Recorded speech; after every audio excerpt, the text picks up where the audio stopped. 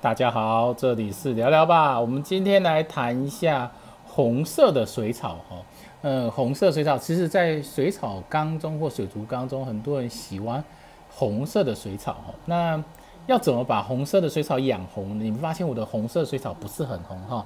呃，这个是很多原因所造成的。为什么呢？因为我下面用的是黑土哈。诶，黑土其实会慢慢的释放出肥分哈。通常黑土含的氮肥比较多哈，那含的氮肥比较多的状况下，你的红色水草就不容易转红哈。呃，红色水草如果你要成立要让它转的非常的红的话，有几个重要的元素，一个最主要的元素，第一个就是低氮的含量哈。呃，氮磷钾、氮磷钾成分氮的含量要降低，这个是一个非常重要的元素之一哈。所以如果你想要让你的水草变红的话，呃，主要第一个就是要低氮环境哈。那因为你用黑土的话，它的氮的环境其实在前期的时候，尤其是黑土会一直释放出养分，这时候呢，其实对于它的低氮环境是非常的不好的哈。所以如果你想要，我觉得啦，如果你想要呃用红色的水草的话，其实你最早的像这个黑土啊，你可能需要用呃旧黑土，像我这个是旧黑土混新黑土，所以还是有有氮的含量哈。那如果你要用黑土种的话，你可能要让黑土呃比较旧的时候状况下，它的养分几乎耗尽的状况下，这时候你的呃红色水草才会慢慢的转红哈。那这是第一个元素。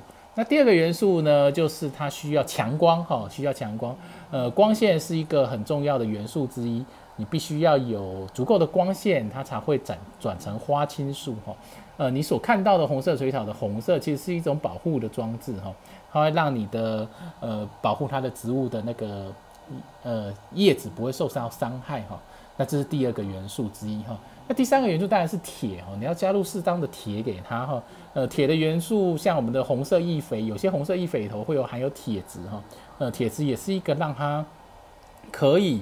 呃，变成红色水草的元素之一，所以呢，还有一个就是强 CO2 哈，CO2 的含量要比较高一些些，这也是其中一个哈。所以如果你想要种什么红蝴蝶啊，或者是讲要什么大大红叶啊，或者是想种一些红色型的水草的时候呢，呃，你首先所需要的第一个就是要给它呃低氮的环境哈，那第二个再辅助一些。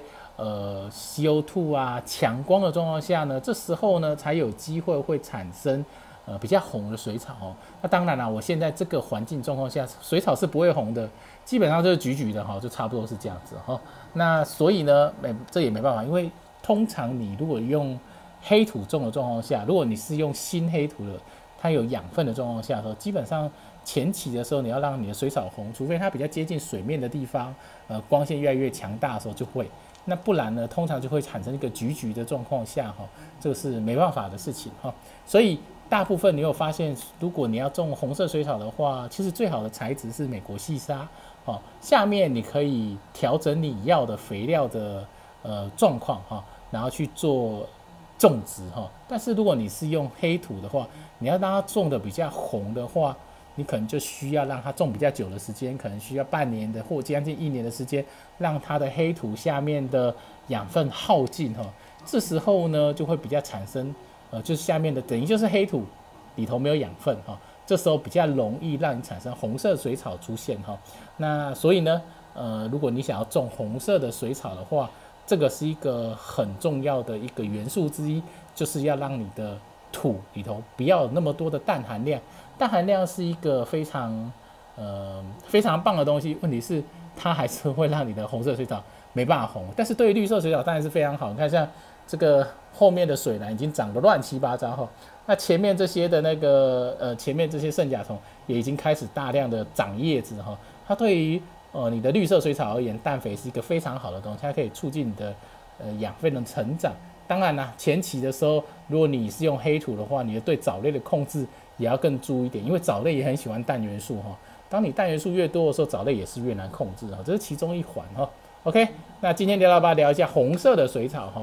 呃，不知道你有没有种红色的水草？如果有的话，欢迎留言哈。那当然啦，呃，很多人种的非常漂亮哈。那这个缸子其实后面我准备想要换成绿色的水草哈，那是感觉会比较对称一些些哈。OK，感谢你的收看，你看这个已经慢慢成成林了哈。就是成一个小小的森林感觉。之前我本来想要做一缸全部都是水蓝，我觉得水蓝在水里头那种飘逸感就很像在湖里面的那种呃大草，就是那种水草的感觉，非常的漂亮哈。好，感谢收看，我们下次见喽。